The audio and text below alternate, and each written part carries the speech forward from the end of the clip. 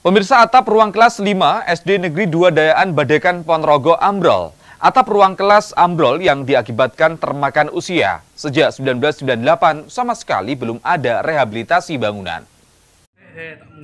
Seperti inilah kondisi ruang kelas 5 SD Negeri 2 Dayaan Kecamatan Badekan Ponorogo. Atap ruang kelas tersebut ambrol sejak 2 Mei 2022. Sudah dua minggu para siswa kelas 5 belajar di ruang perpustakaan.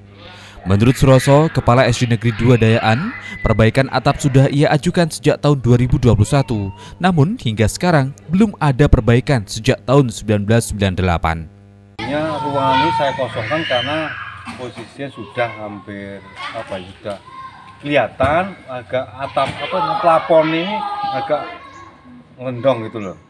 Akhirnya ruang saya kosongkan, anak-anak saya pindah ke pos Nah, setelah saya pindah kejadian tanggal 2 eh, Kamis 2 Juni kemarin sore mungkin hujan ini ya jatuh udah Alhamdulillah anak-anak dalam keadaan kosong ini kan sore ada orang aman semua meja kursi pun sudah saya pindahkan ke perpus sehingga ya udah nggak ada nggak ada kerusakan gitu aja. Ini yang apa kelas berapa pak? Kelas 5 Kelas 5 ya. Itu kerusakan sudah mulai tahun berapa? Masalah kerusakan udah enggak lah masalah kerusakan udah udah lama mulai dari kelas kelas-kelas ini udah lama cuma Sejak kapan itu pak? enggak.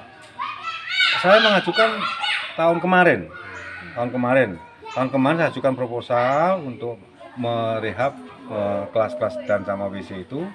Ruang kantor, ruang kantor, ruang kepala sekolah, ruang guru sama kelas 4 dan 5 ini udah perlu diperhatikan gitu loh intinya. Masalah biaya dan sebagainya saya nggak tahu Suroso menambahkan selain ruang kelas 5 ada juga ruang kelas 6, ruang guru, ruang kepala sekolah, dan kamar mandi yang bagian atapnya sudah membahayakan. Ega Patria, CTV, Ponorogo.